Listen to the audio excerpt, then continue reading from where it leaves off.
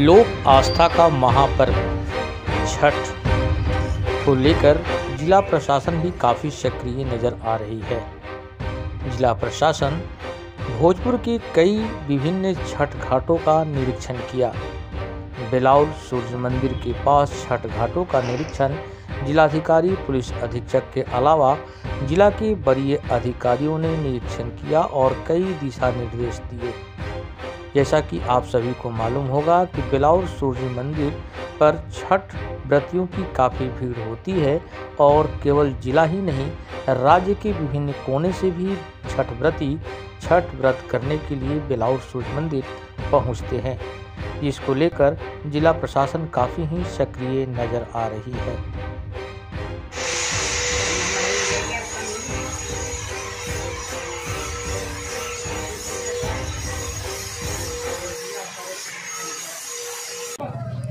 यह आस्था का पर्व है, यह एक अटूट विश्वास का पर्व है, जिसको लोकप्रिय, लोकप्रियता इस पर्व को इसमें कम नहीं मिलती है किसी को भी।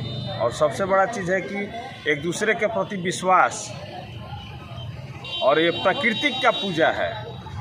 इस, इससे ये पूजा जो है, यह इसके पूजे इसका जो विवरण किया जाएगा तो इसका अंत नहीं है। ये प्रकृति का, नेचुरल का, भगवान का पूजा जो माना जाता है, भगवान भास्कर की पूजा किया जाता है हम लोगों का, लेकिन एक प्रकृति का पूजा है।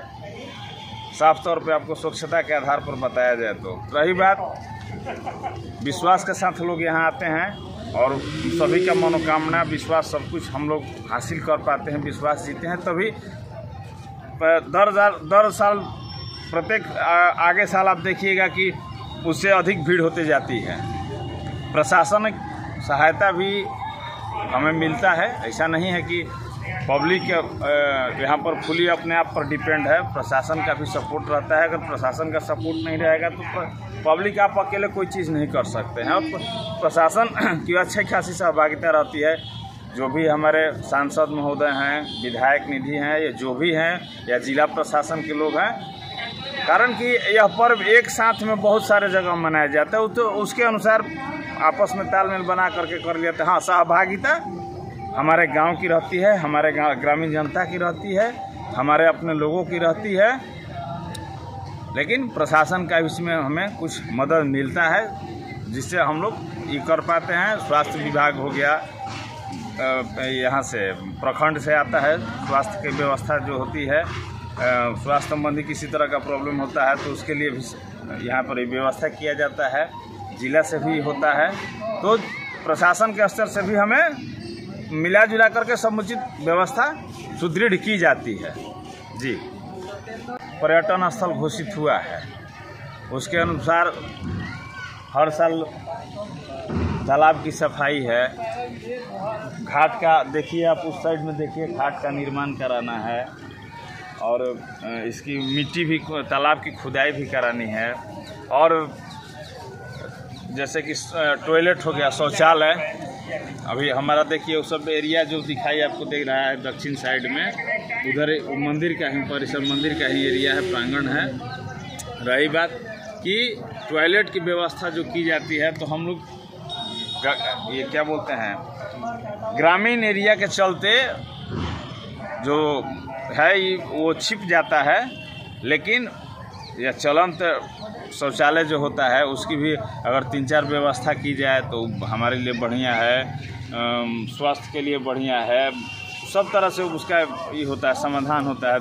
कि पहले पाँच लोग आते थे, अगर आज हम पचास भी आ जाएँ तो हमें उससे कोई प्रभाव नहीं पड़ने वाला, और उसका वो जो वो जो हमारा मान सम्मान है जो स्वाभिमान है मेरा उससे और बढ़ चढ़ के हम लोग हिस्सा लेते हैं और उनकी किसी तरह की कमी न होने दे ये पूरा परिचय दे दीजिए। महसूस करते हैं। पूरा परिचय दे दीजिए। जी मेरा नाम मुकेश कुमार हुआ। पिंटू पिंटू के नाम से सब कोई जानता है।